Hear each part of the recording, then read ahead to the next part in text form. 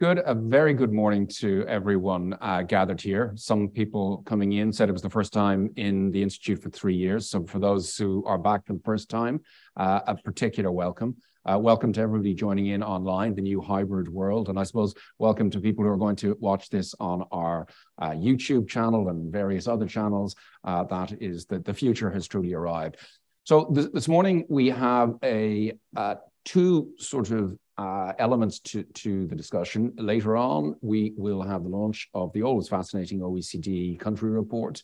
We will have representatives of the OECD, and of course, we'll have uh, Minister and President of the Eurogroup joining us shortly, uh, and he will be giving a, a, discussion on that. But before that, we are going to hear from the senior official in the Department of Finance who dealt with the Commission on Taxation. He's going to give a presentation on the Commission on Taxation report.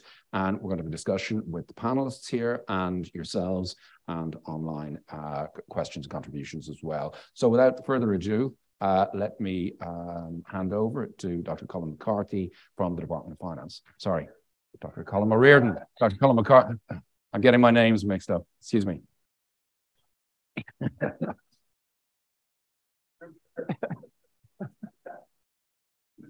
Uh, yeah, right. Thanks. Um, well, obviously, we've reached that time of year where really, um, yeah. Okay. So, uh, good morning, everybody, and thank you, and thanks for the thanks for the invitation, and thanks for the opportunity to talk about the Commission on Taxation and Welfare. Um, just to, we're going to. Those of you who have may see have seen the report of the Commission on Taxation and Welfare will know that it is not a short document. It's 500 and something pages, 116 recommendations. So in the short time I have this morning, I'm going to uh, give a very, very high level overview of, of, of the document and, and what it says and what it says about the future of taxation and welfare in Ireland. Uh, and that is by way of encouraging you to, um, to dip in. We did go to some effort to uh, construct the report in a somewhat modular manner. So you can dip into it and look at the pieces that interest you. And then after Christmas, obviously read the whole thing. So um, maybe we're just gonna, I'm gonna, so, so I'm gonna clip through this fairly, fairly rapidly to give you a sense of what's, what, of what the exercise was and what's in the report and just to tee up a discussion. Um, the, the terms of reference for the commission, very extensive, um, but we continue to come back to this particular component of it, which for the commission members was the essence of the exercise, which was that the commission was asked to uh, consider how best the tax and welfare systems can support economic activity, promote increased employment and prosperity while ensuring that there are sufficient resources available to meet the cost of public services and supports in the medium and longer term. And I think that's particularly relevant. So there was a, a very wide ranging terms of reference, but this was the the kernel of the exercise. So moving on to the next slide, why do a commission? Um, what kind of an exercise is a commission? And uh, commissions are uh, uh, very much a product of a 19th century world. They were, uh, there were hundreds of commissions between 1830 and 1900. Um, and they were very much the mainstream way of doing policy making before the central state was invented and before we had a civil service and civil service departments on the scale and nature that we currently have. So whereas this afternoon, or sorry, in the second part of our conference this morning, we're going to talk about the merits of a, an external perspective or a peer review from outside, this is an external perspective or, or a peer review from people who are outside, sitting outside of the formal civil service governmental system people with wisdom, knowledge, and expertise who take time out to have a look at a, at a set of issues and to take a, a, a strategic perspective. And very much, if you move the next to move on to the next slide, this is very much a strategic exercise. So it's not a line by line review of, of the tax and welfare code.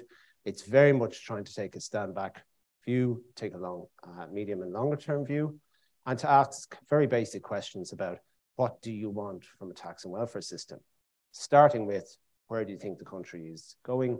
What do you want to achieve? And what role does the tax and welfare system have in the achievement of those big objectives, those big social and economic objectives that the government um, assigned the Commission to consider?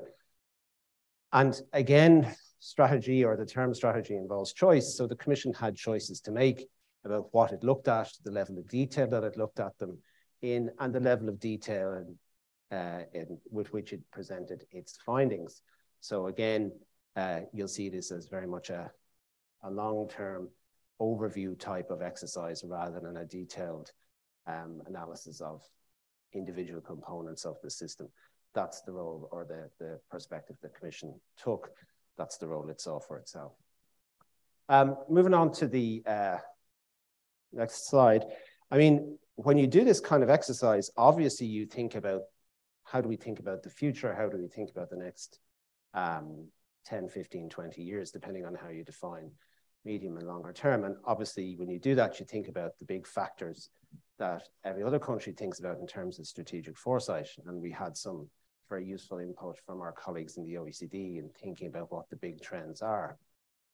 Um, but in some ways, the most compelling uh, data that the Commission looked at is data about the Irish story over the last 30 years. And it's an arbitrary period to pick. But, but if you look at the, the, what has happened in Ireland, both quantitatively and qualitatively over the last three decades, then it's quite a, a radical or quite a dramatic story um, that, that, that you see. So Ireland has experienced very rapid economic growth since the late 80s. um, if you look at employment growth and compare Irish employment growth to other uh, OECD countries, the story is even more favorable. Essentially, we're twice as rich and have twice as many people employed as we used to have.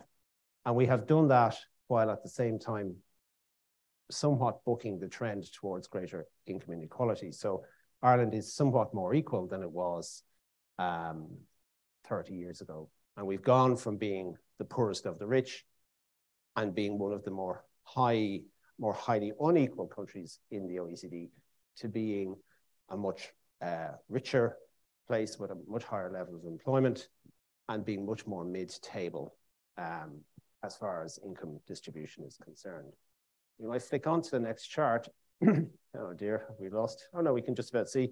Um, uh, why, why is that? Uh, one, I mean, one of the outstanding features of the Irish economy is a very high level of uh, market income inequality. So the distribution of market incomes in Ireland is very uh, unequal compared to other OECD countries, but we're about mid-table when it comes to the distribution of disposable incomes. And the reason for that is largely because we have a very highly progressive tax system, which uh, works, if you want to use that expression, very hard or achieves a very high level of redistribution of incomes um, such that disposable incomes are much more equally distributed than, than market incomes. And that's a fairly important fact, which leads you to a whole series of, of questions about how long that can be sustained into the future or what um, you know, what the sustainability of that, of that particular structure is. And so what I think the commission uh, was left with was, in many ways, um, there are, of course, difficulties and issues and problems in the tax and welfare system. But this story is really one of um, quite a positive story. It's one of quite a lot of success. There are, of course, deep problems. There's a lot to be done. There's more work to do in terms of income distribution, as far as the Commission saw. Certainly, there are huge challenges in the carbon area. But on the other hand, the question arises well, what has been at the source of the, what has been, you know, in what sense has the tax and welfare system contributed to this success? And not to put too bluntly, not to put it too bluntly, how do you keep that going or how do you not mess that up? So if we go on to the next slide, um, the issue which, which I think sort of became most um, fundamental for the commission was was essentially this issue of fiscal sustainability. So again, I, time is short, so I won't go into this in, in any great detail, but I think it's important to recognize that this quite um, positive growth story that has that we've seen over the last three decades took place during a reasonably favorable demographic window, and that demographic window is closing. And so um, we know that due to the quite rapid aging of our population.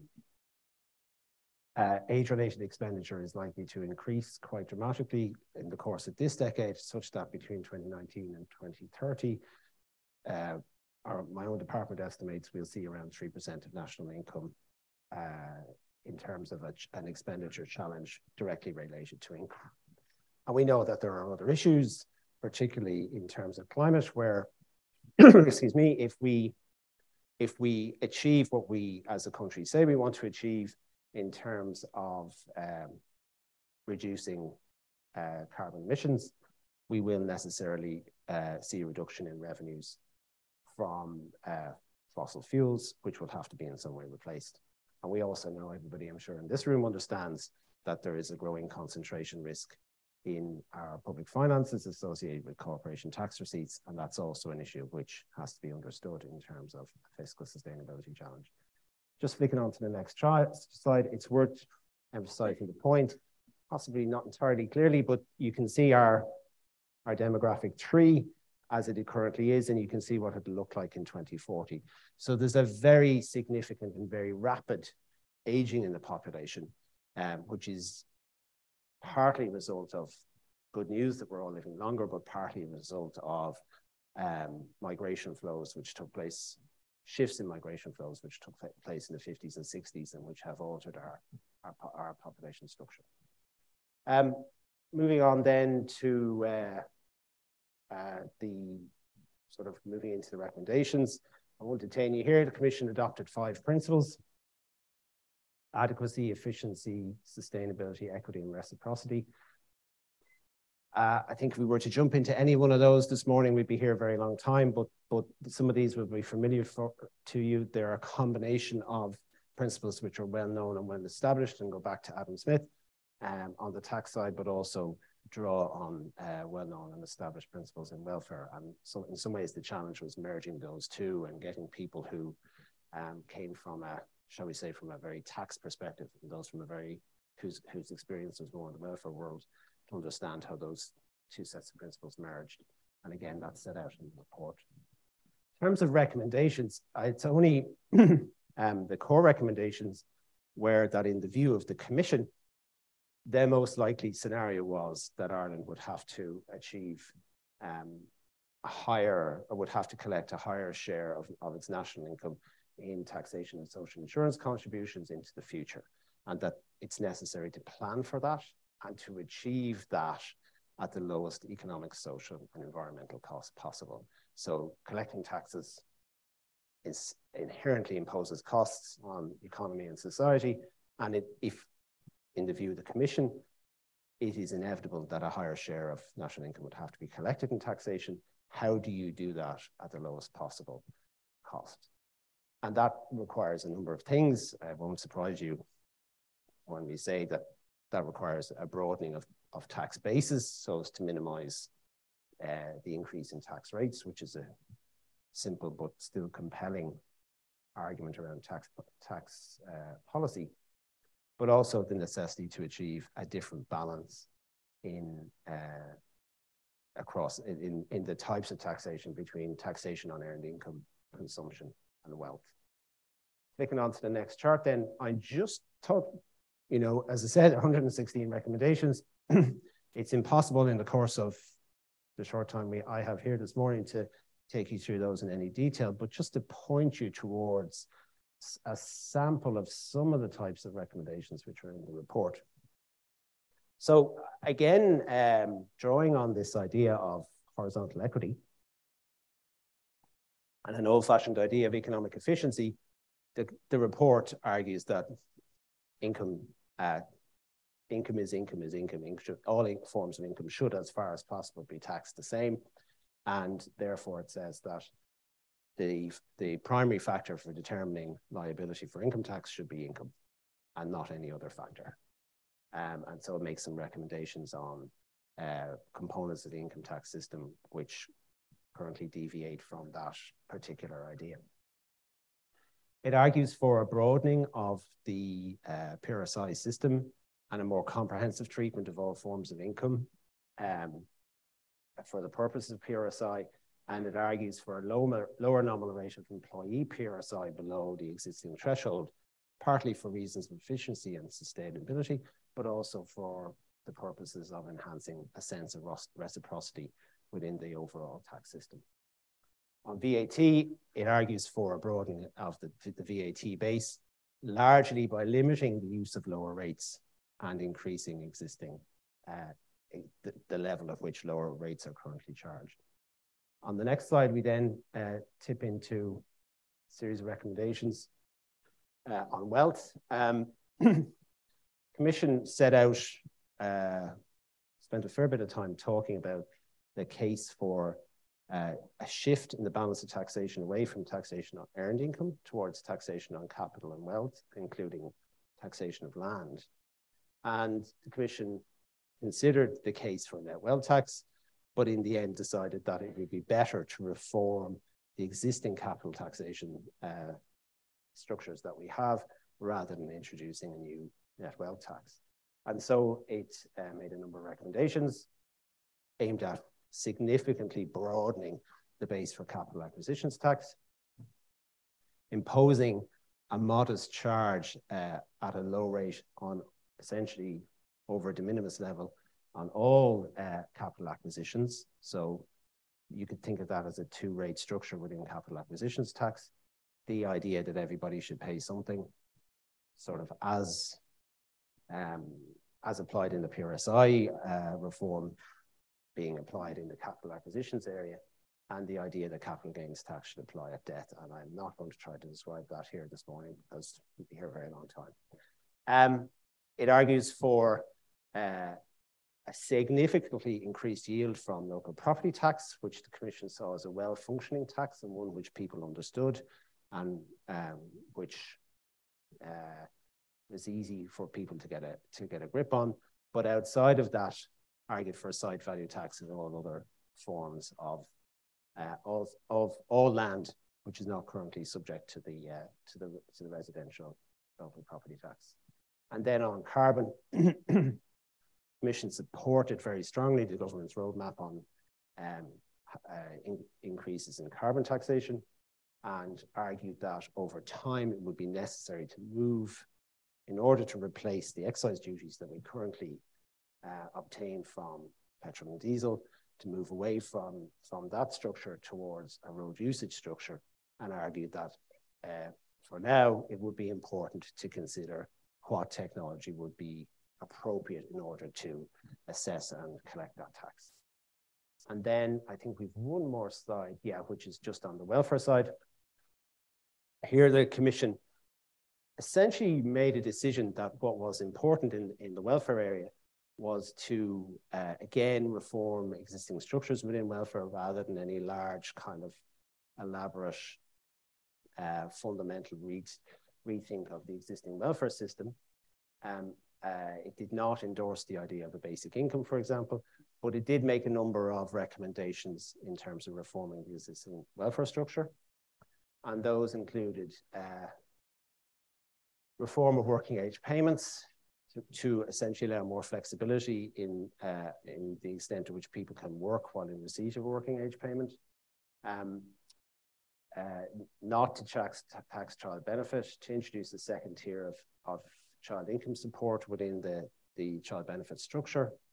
And it made a recommendation for um, a more evidence-based system for benchmarking social welfare payments and to set multi-annual targets um, on, the on the back of an evidence-based benchmarking structure for, welfare payments. So that's the very quick rattle through. Um, I don't know how we did on time there, Dan, but uh, as I said, it's a it's a very um, it's a chunky document. It covers, I think we've 18 chapters. We go into quite a bit of detail on a number of things which probably are for uh, my something of a minority taste, such as how to evaluate tax expenditures, which might sound um, less than scintillating, but are actually very fundamental to how a tax system is designed, and built, and managed, and a number of other things around um, around structures and uh, how budgets are done and so on and so forth. So simply to recommend it to you uh, for um, for bedtime reading over over Christmas.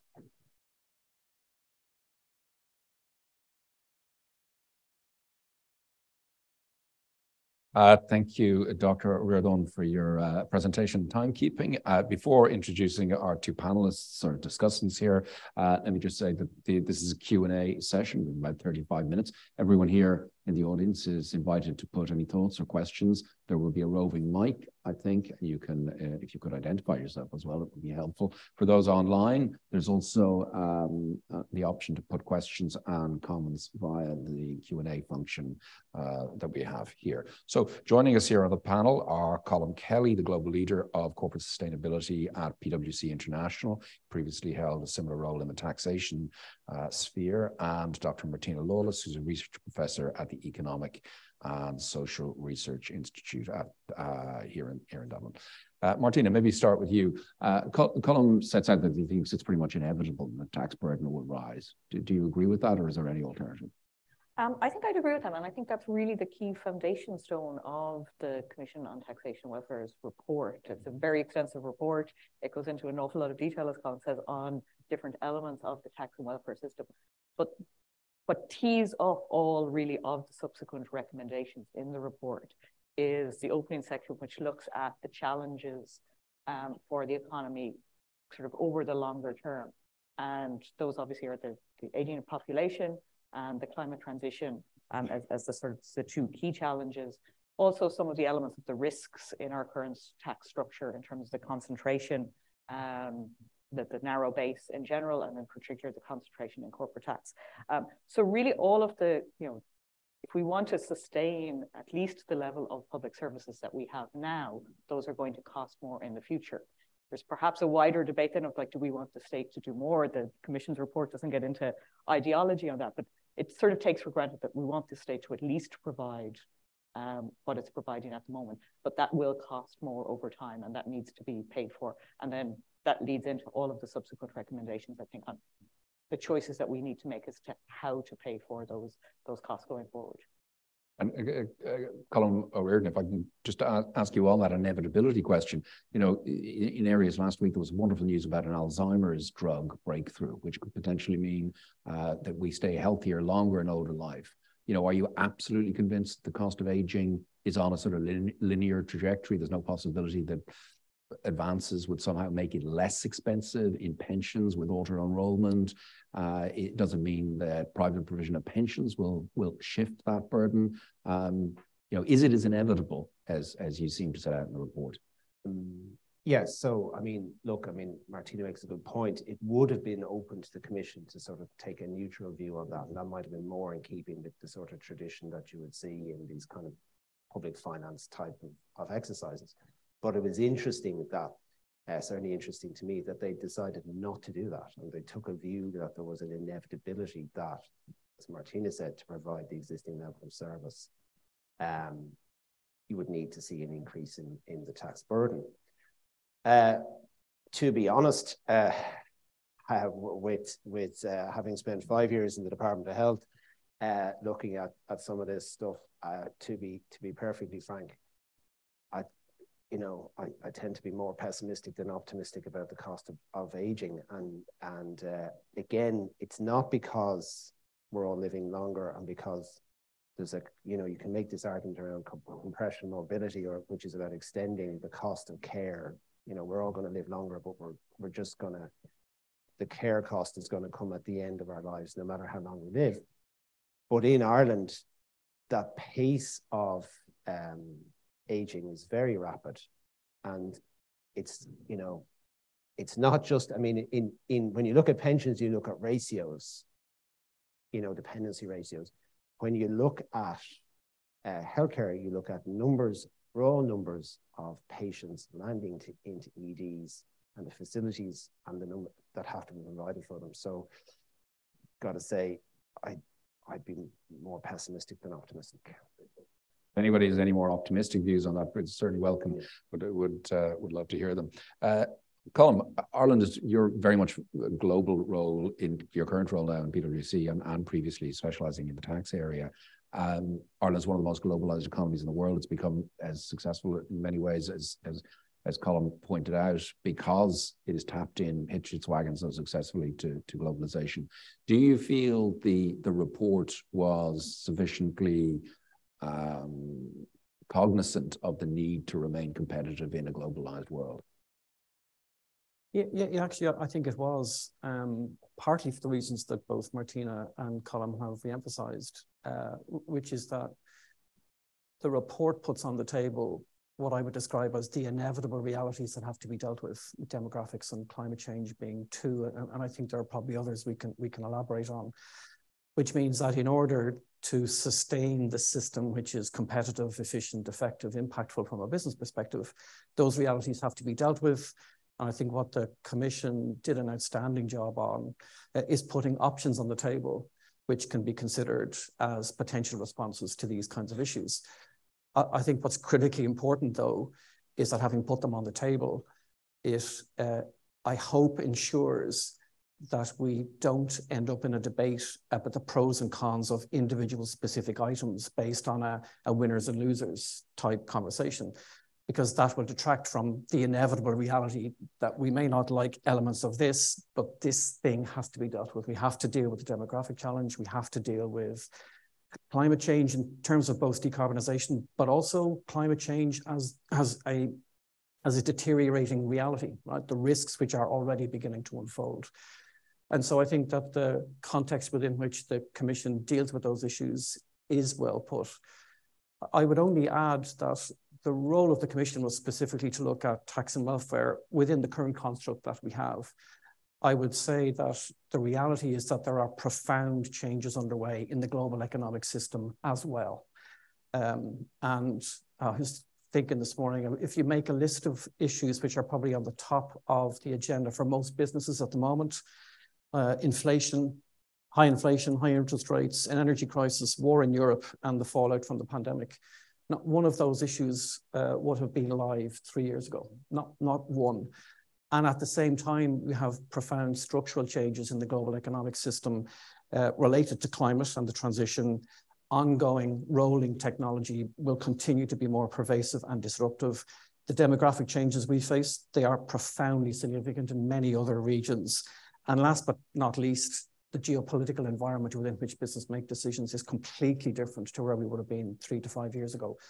Those factors will endure for decades and they will have material influence on the way in which businesses make decisions. That will impact the shape of Ireland's economy. It'll create tremendous opportunities, but it will reset the context within which our tax and welfare systems operate as well. Just on the positive aspect there, you mentioned the opportunities. Very often we're sort of looking at the, the challenges and the risks. Um, where are those opportunities? Well, I think they will be in the evolution of both uh, sectors and also in the role which countries like Ireland uh, can and will play. So, for example, if you take the geopolitical fracturing and um, an increasing emphasis in some of our big partners on nearshoring or friendshoring, uh, anchored in the EU and closely connected with the US, we're probably as well positioned as ever to support that business dynamic between those two regions. Um, I think in terms of sectors, uh, there's no question the, the, concentration risk that we see, for example, in, in tech, well, that's a function of great success. And it's inevitable that that will have a, disruptive period, let's say. But it too will refresh itself. New businesses will come on stream, new technologies, new players. And the energy transition will also drive transformation through most sectors. So all of those, and they're just examples, all of those factors will create new players in newly emerging sectors doing new things to try and access new markets with new operating models. For Ireland, the trick is to refresh the way in which we have participated in those activities in that new economic environment for the next generation. Colm described very well how successful we have been doing that for the last 25 to 30, to 30 years. Good. Uh, uh, Martina, I often confuse your institute and the social insurance, ESRI, PRSI, as many people have done, but maybe come come to you on, on that in, in a moment. But again, just to emphasize, we very much want to have a, an open discussion here. So if people in the room or people online want to make a point or contribute, uh, they're very welcome and just indicate uh, to me if you want to, want to come in. Um, on the specific recommendations there on lowering PRSI, ERSI, PRSI, um, um, what are your thoughts on that? And generally, a lot of talk in recent times of making the uh, social insurance system more like continental European systems, where uh, what you get out more closely aligns to what you get in.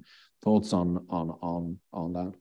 Well, on, on, on a first broad thought, I thought it was really useful that this particular commission was a commission on taxation and welfare, which I don't think we've ever had before. Um, all the others just looked at the taxation system, but obviously the the intersection and the, the overlap between the two of them are really important in terms of how they support economic activity and avoid, as, Colm said, that any you know taxation sort of by definition is introducing some distortion to people's behaviors. Um, so to how to get the the most revenue with the minimum distortions is sort of the, the magic um, balance that is you know, tried to strike there. Um, on the peer side, I, I think as a sort of not specifically on any individual tax, but in general, sort of the broadening and, and simplification of the tax system is probably the, the most obvious way to bring in more revenue without having any kind of dramatic changes to the tax to the tax system. And I think a lot of the commission's reports, it did start from, you know, we are where we are on the tax and welfare system. And introducing very sweeping changes always runs the risk that of sort of unintended consequences. So lots of the, the recommendations are kind of gradual expansions and extensions of the current system. And so the PRSI recommendation to cover all income and get rid of some of the exemptions to that is an example of you know a way to broaden the tax base without doing anything sort of particularly radical that might have kind of unexpected consequences on, on people's behavior. Colm, when you when you spoke to us, um, about a year and a half ago uh, at the institute, you, you used the word path dependency a lot. Um, this is a, a term wonks use for really you, you, the direction of travel is more or less set, and it's hard to do something of what Tina picked up there on you know lack of radicalism. Are, are, are you um, are you a sort of orthodoxy type, or would you be more like a recent British Prime Minister, um, be more radical? I, I mean, so first of all, I am a mere servant of the Commission, Dan. Um, so I'm I'm simply interpreting what what these very fine people might have thought. I do think um, how, how would I put this? I, I do think you have to be realistic about what I would call administrative capacity and, and bandwidth. Okay, so one of the things the Commission says in the report is that you think about what the social welfare system does every week. While we're sitting here, it's delivering millions of payments every week. It's a complex system.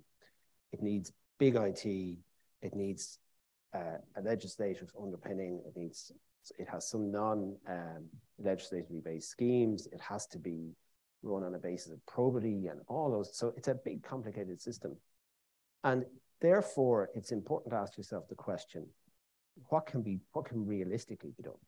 Okay. And so I think what one of the things that's reflected in the commission report is let, let, let's see what we can do pragmatically with what we have and um, there are, you know, I mean, even to introduce the second tier child benefits um, uh, uh, payment, which is a recommendation that has been around in policy discussions in Ireland for a long time, that would be a big project for my colleagues in the Department of Social Protection to deliver. Um, they, you know, they refer to it and it's, if you look at their submission to the Commission on Tax and Welfare, it suggests that that's something they're interested in doing. So I think you have to ask yourself what's deliverable in terms of and, and, what the policy bandwidth is and what the administrative bandwidth is. And equally, you can see that, I think that's fair comment, you can see that in terms of, say, the decision to say, mm, net wealth tax, not so sure. Let's look at what we have and develop what we have. And I think that's I think that's important. So you can see that at that level. And then in terms of the very big issues of, you know, how does Ireland sit as a welfare state versus, you know, a German welfare state or a UK welfare state or so on and so forth. I don't think those things change overnight. Those things evolve. That's probably what. Uh, is, is, so you can see it at the micro and at the macro. Good. Uh, let's start with a few questions, Francis.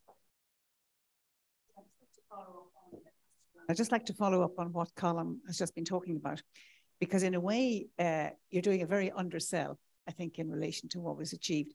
Because I think by starting with the guiding principles as you did, you allowed yourself to think how incrementally you can move the system towards delivering better on the objectives of what we're trying to do across the tax and welfare area. And when I think about it, in a lot of cases, when um, um, reports like this are, are, are, are come out, people focus on what's the new big thing. Now, we saw a lot of the new big thing in the UK in October, and we saw what happened. But actually, I think there's a huge benefit in what you've done in, in, in making it clear what you're seeking to achieve across the tax and welfare bases. I think that was really, really important. And I think what it gives is a metric and a reference point for further changes that might come up in very practical ways. So I, to me, sort of this concept of strategic incrementalism is really about knowing where you're heading and not about the brand new thing that will try to tick six of those boxes in one go and may or may not move or may or may not be practical when it comes to it.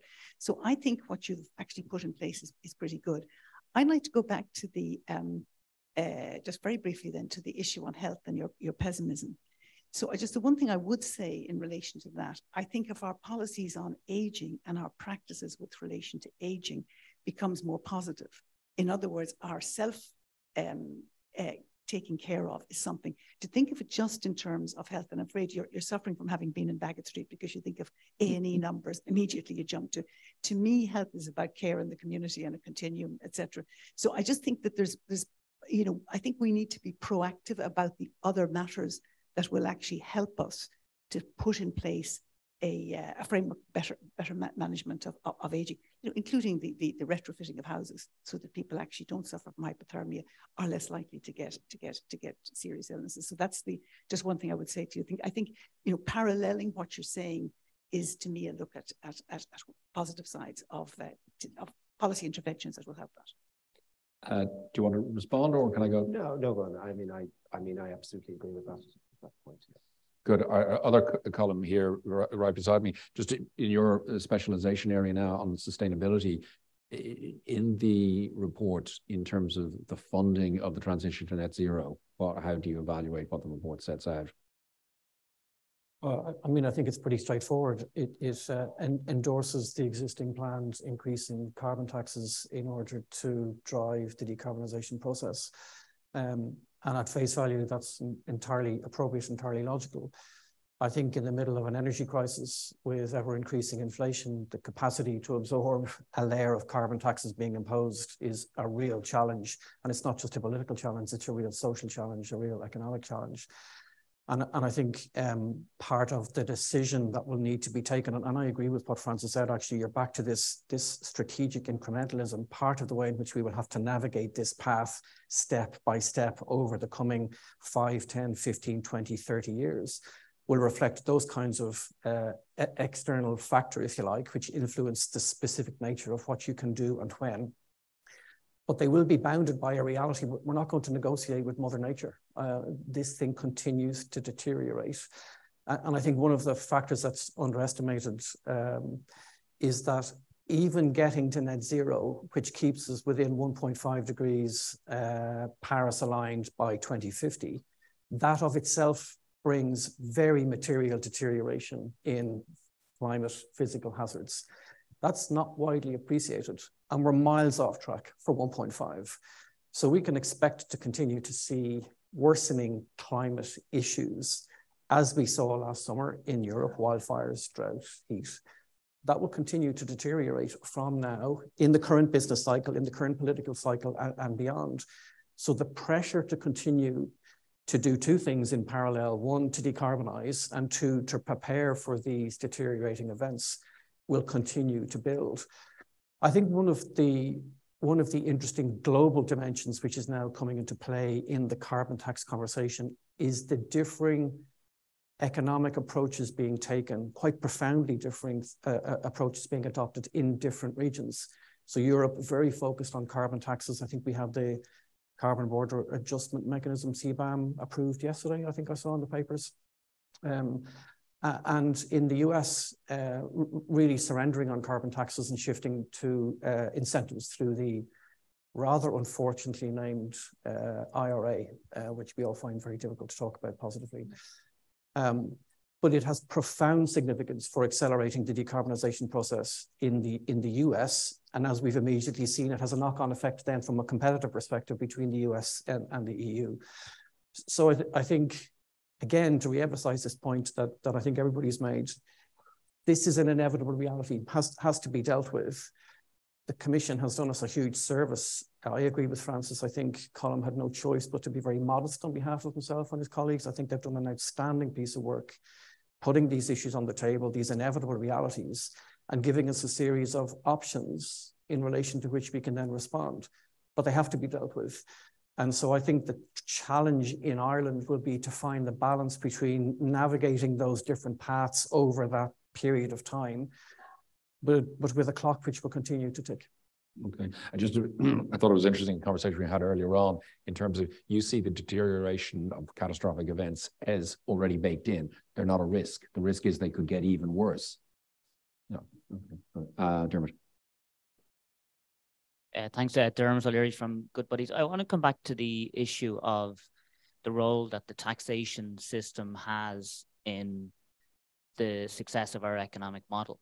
Um, and and to the extent that you, you know you can argue that it's inevitable that these aging issues or climate change issues will bring um, an increased need for for tax resources, but you could also argue that by increasing taxation, that will actually disrupt the economic model that brought those resources in the first place. So, uh, my question really to Colm really, how much consideration and benchmarking well, first, first of all, how much consideration was was given to to, to the role that that incentivization on the tax side has played in, in the success that you talked about, um, and in terms of you know benchmarking for the future, in terms of what impact changes may have on that model in the future.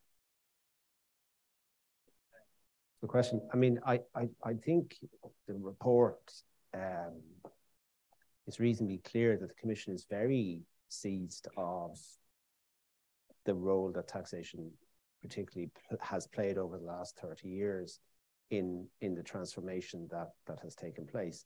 Now, to an extent, um, does that mean that if we made any change at all in in our in let's say in our aggregate taxation policy, that all of a sudden that that success would evaporate? I don't think it would. I think um, I think there's reasonably strong evidence to, suggest um, that it's a little bit more robust than that. But I think if you look at the report, Commission was very focused on the importance of promoting enterprise, the importance of promoting employment, uh, maintaining a low, stable, predictable corporate tax regime, uh, very supportive of the government's approach on, on engagement with the BEPS process, um, but because it wants a low, stable, predictable um, corporate, ta corporate tax regime.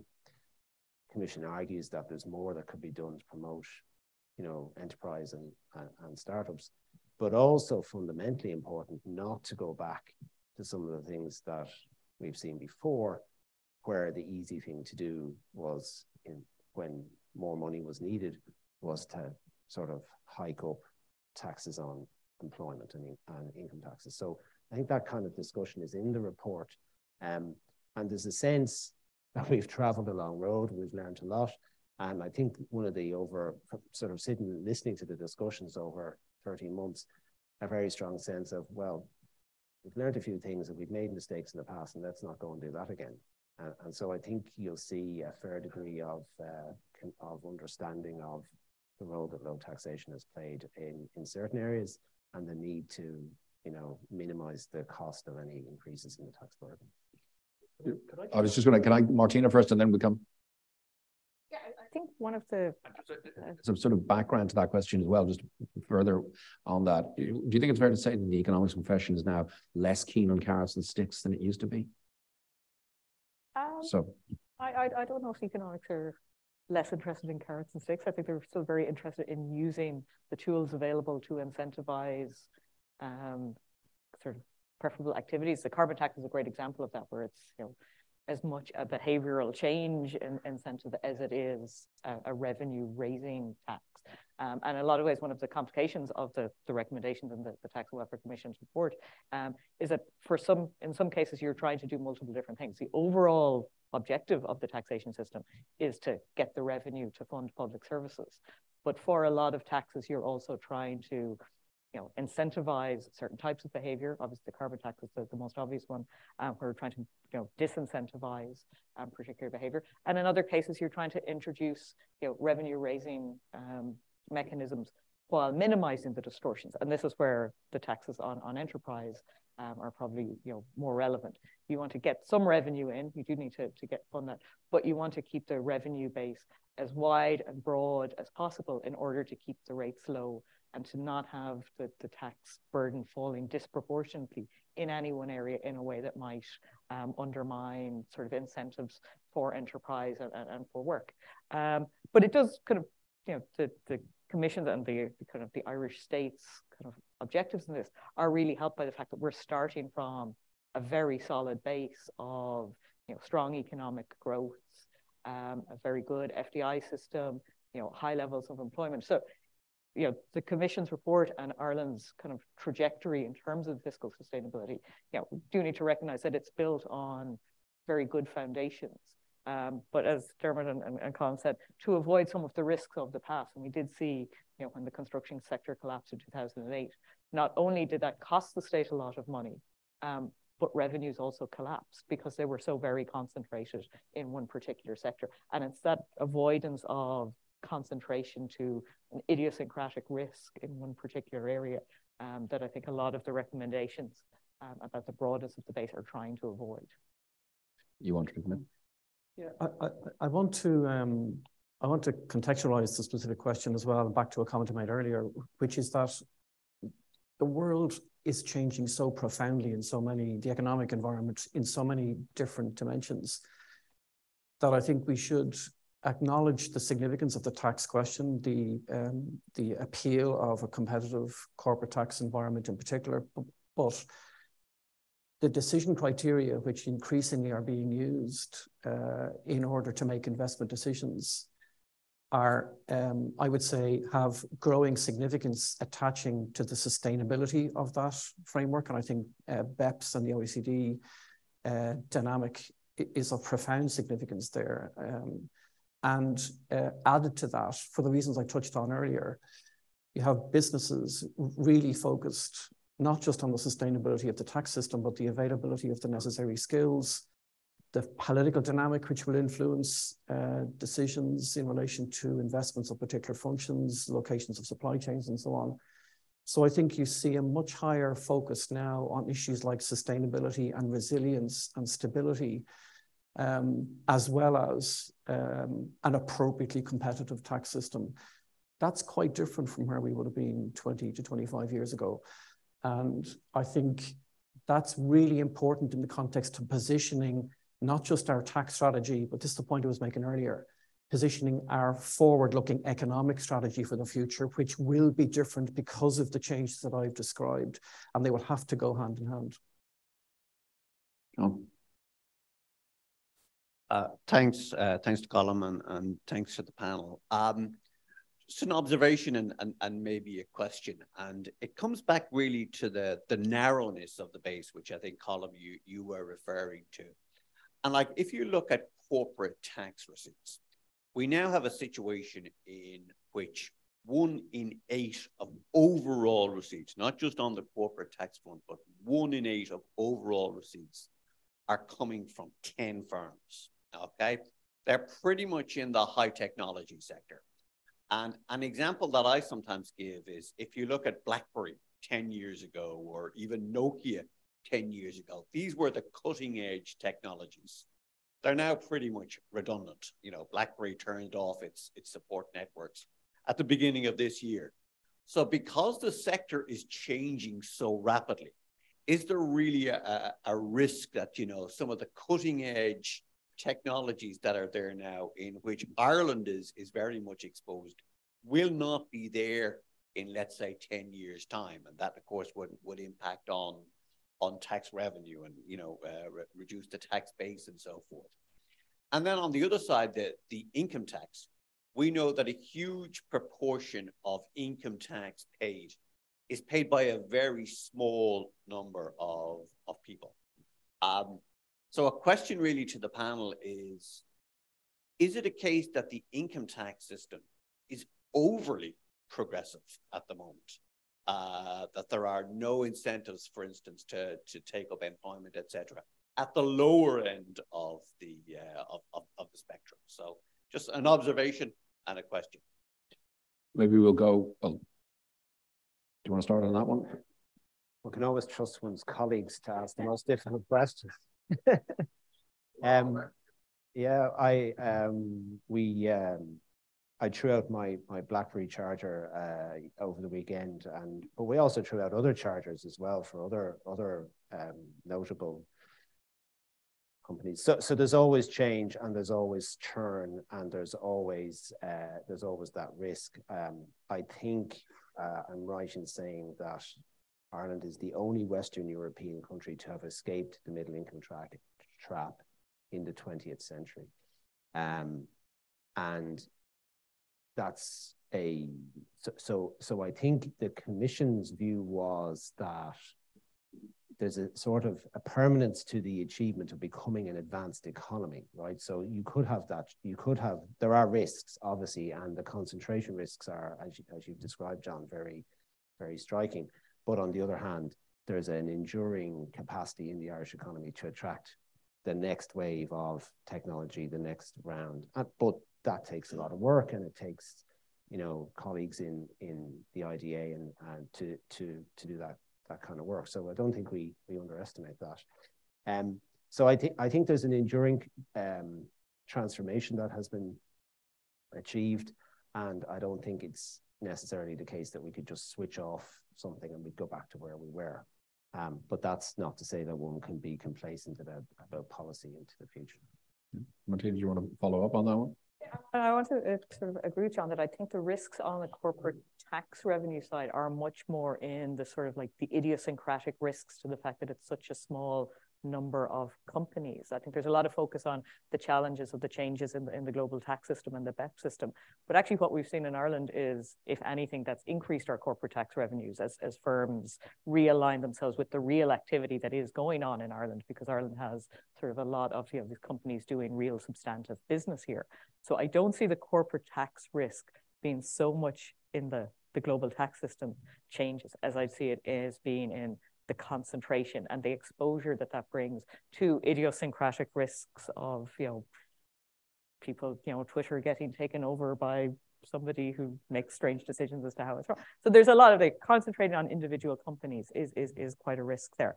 And there's also an overlap between the concentration. Those companies, because they do have real substantive presence here, are the companies paying the high wages. So there's a big intersection between the corporate tax concentration and the income tax concentration. And often there's a tendency to talk about the two as completely different things. So I think it's really important to, to kind of see the overlap there. Um, but overall, as, as Colm says, you know, Ireland has now built up a very strong base and reputation um, and a lot of expertise, both in human capital in high technology companies. Um, but there will be sort of churn on that and the, the kind of the risks that it brings are kind of are quite real. And that's one of the reasons again to support the maybe like broadening of the base um, into other areas like wealth taxes uh, and so on as well. Okay, we're, we're just hitting the end of the event. So there's a question here from Anne-Marie McGowan from the National Economic and Social Council.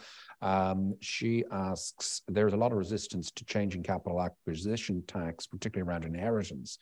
Do you have any suggestions on how to have discussions or other options to help change the narrative on this? So Colm will take that to conclude. Yeah, I mean, I, I, think that's not untypical of what I referred to earlier when we get into a winners versus losers debate on any particular proposed policy change, the um, quality of the debate tends to deteriorate. I think what the commission work has done is help us contextualize those conversations by asking uh, the question, well, what purpose does the policy uh, achieve? What are we trying to solve for? What is the outcome which we think this will deliver? Which uh, then we can have a debate about the merits of that outcome or not, uh, not just the tax mechanism to achieve that. And I think that will apply actually across the board in, in lots of these kinds of areas. And in the inheritance tax space, for example, uh, one of the issues which goes back to the principles which the Commission used to underpin its work is the question of whether we are comfortable with the degree of inclusion and intergenerational fairness that we have in the Irish economy and the Irish society at the moment. That's a conversation that we should have because then tax policy, like inheritance tax, can be used as a mechanism to address, uh, at least in part, some of those concerns. The debate that we should be having is the degree to which we want to address those issues and then use tax and other measures as a mechanism to do that. That's the context within which that conversation can take place. Okay, thank you. So we're going to uh, bring this uh, section of the this morning's events to uh, conclusion. There's coffee and I think some snacks over there. I will take a 15 minute break and come back at 10.15 for the OECD presentation. So just a final thank you to all our panelists uh, for their input this morning. Música